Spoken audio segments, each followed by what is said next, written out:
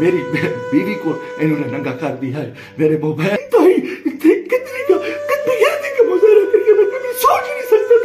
मैं जो इस वक्त वीडियो बना रहा हूँ सुबह के पौने चार हो रहे हैं। मैं मैं chief justice supreme court of Pakistan आपको बता रहा हूँ। मैं जमशेद दस्ती आपसे मुखातिब हूँ, मैं चार कौमी असम्बली का इलेक्शन जीता हूँ।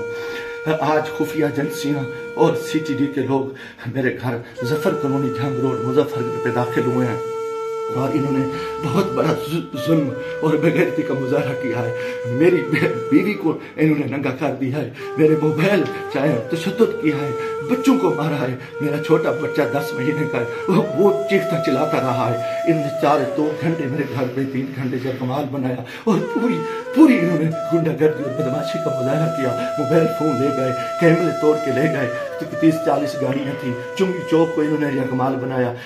दिन से भी ये कर रहे थे। मेरे दोस्तों के घरों में भी इन्होंने छापा मारा है। और मेरे साथ बहुत बड़ा जुल्म और ज्यादती हुई है। मैं पिछले नौ महीने से इनकी गुंडागर्दी का मुकाबला कर रहा हूँ। आज ये अभी बेगैरती पे आ गए इंतहा पे आ गए चीफ जस्टिस साहब, खुदा के वास्ते मैं पाकिस्तानी हूँ। इतना बड़ा जुल्म मैं सोच नहीं सकता। और मेरे साथ इतनी बड़ी ज्यादती हो गई है कि मेरा जुर्म यही को कि मैं इस मुल्क के साथ खड़ा हूँ, इस कौम के साथ खड़ा हूँ, मैं एक वर्कर क्लास से, वर्कर क्लास से आया हूँ। और मेरा यही गुनाह है कि हम इमरान खान के साथी हैं। इन्होंने इन्होंने कितने दिनों से मेरे ऊपर एक केस था। मैंने मुल्तान बेंच से जो है ना हिफाजती जमानत कराई। फिर उसके बाद मैंने मुजफ्फरगढ़ से भी आके एक जमानत करा ली थी, उसकी अधूरी जमानत करा ली थी। और कोई कोच नहीं, उसके बावजूद मैं मैं मैं इस हेड पे रह रहा था।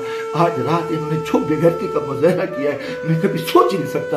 और मे- मेरा दिमाग काम करना छोड़ गया है और मैं उसके साथ ही अपने कबीले के दोस्तों के बिरादरी से, दोस्तों से जो मेरे उम्मीदवार हैं, सबसे कहता हूँ कि खुदा के वास्ते इकट्ठे हो जाओ। इतनी बेगैरती हम अपनी इज्जतें उतरवा बैठे हैं। इतना बड़ा जुल्म और इतना बड़ा जबर और मैं कभी ये सोच ही नहीं सकता था कि ये इतनी बेगैरती करेंगे सिटी जी की गुंडागर्दी के लोग, उनके लोगों को ये इलेक्शन लड़ा रहे हैं।